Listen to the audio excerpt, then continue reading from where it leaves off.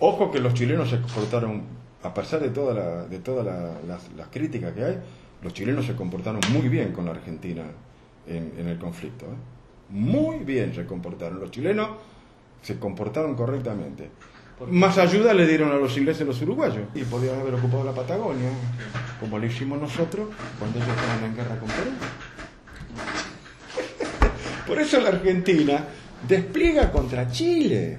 La Argentina va a desplegar y despliega contra Chile más que contra, contra la Inglaterra. Porque el objetivo era de, de touch and go. Cuando se produce el conflicto se marca el objetivo. Puerto Argentino. Y otra vez se pierde el objetivo.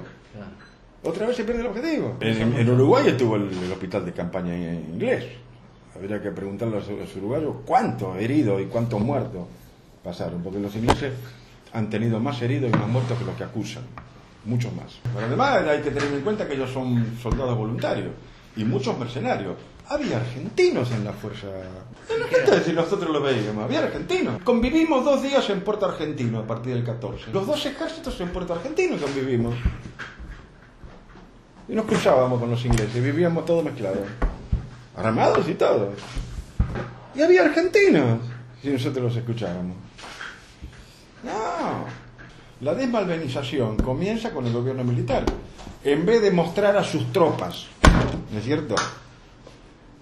Desfilando con el hueco de sus muertos, nos esconden. Es una cosa espantosa lo que se hizo. Si había hasta conflicto, si no nos querían dejar salir.